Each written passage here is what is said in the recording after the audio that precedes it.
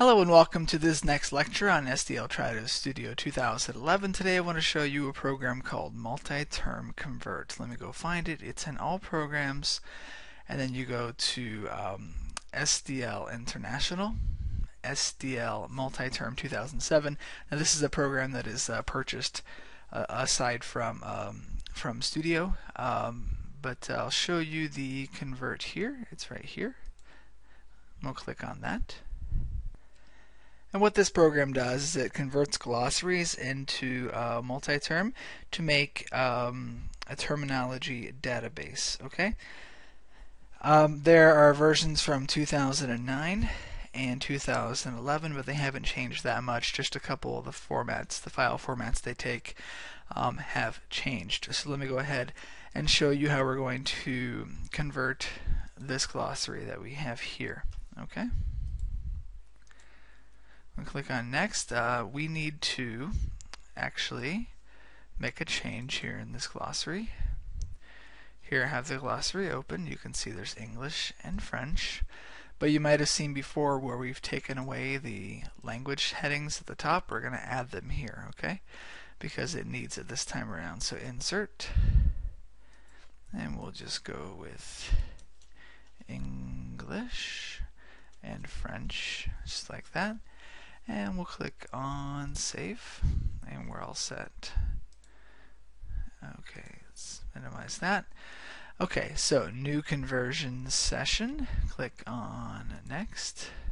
Here you have the different formats multi-term 5 OLIF XML and down all the way until the Excel format. And we click on next. The input file is right here already. Remember we added the English and the French at the top of it. And here we have the output file, the second one, the termbase definition file, and the log file. And there's our input file. Click on next. And here we have the column header field. So you have to tell this, uh, tell it what's going on. So for the English, we can, we can actually select between these two. For the English, we want to call it an index field and we will tell it that it is indeed English oops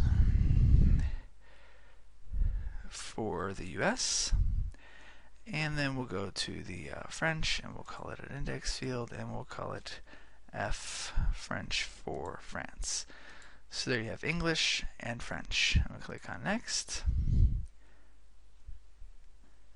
Here we can add uh, more descriptive fields. Uh, this time we're just going to go through this. Uh, click Next. And we have the summary of our conversion that's right here. And we'll click on Next.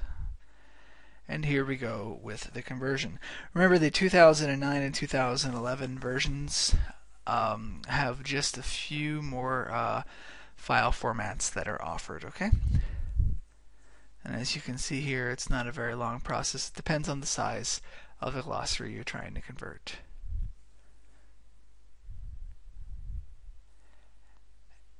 And we are done.